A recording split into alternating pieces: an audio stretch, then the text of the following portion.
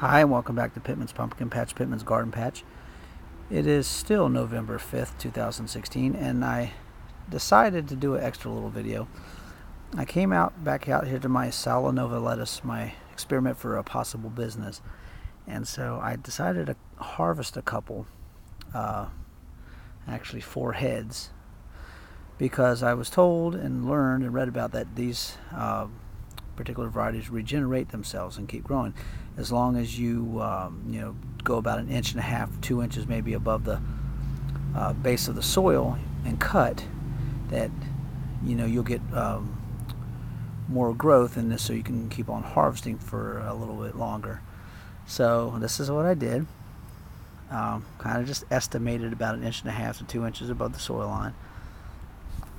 Okay so this is the purple um, and this is the red, I think they call it red, uh, butter variety of Salanova.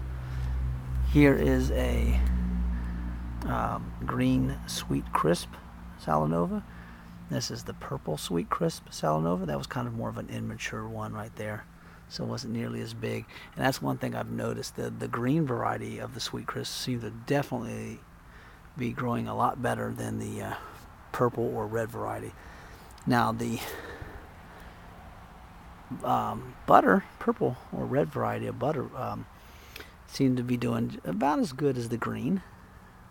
At first, they were a little bit slower to grow, but they, they caught up. The green is doing excellent on both varieties, that's for sure.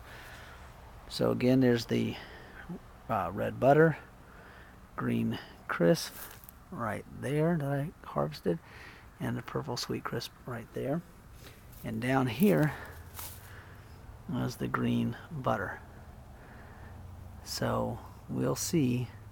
And this seems like I cut it maybe a little bit lower because uh, there's more white than its purple variety over here, but we'll see how which one grows better.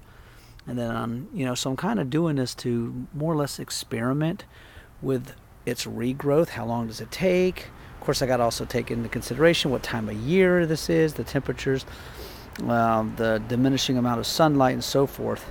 So I went ahead and did it now so that if it's going to regrow, I'll have a better chance of it doing it before it loses even more and more sun.